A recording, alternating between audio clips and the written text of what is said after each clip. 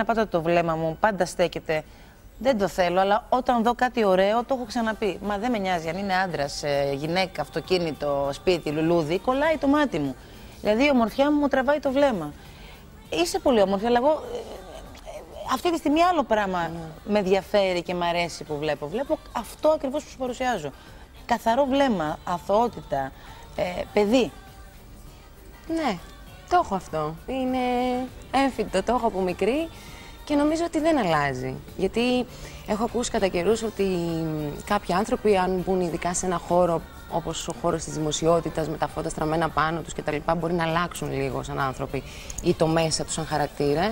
Εγώ θεωρώ ότι δεν υπάρχει λόγος. Έτσι όπως ήμουν πριν, έτσι είμαι και τώρα.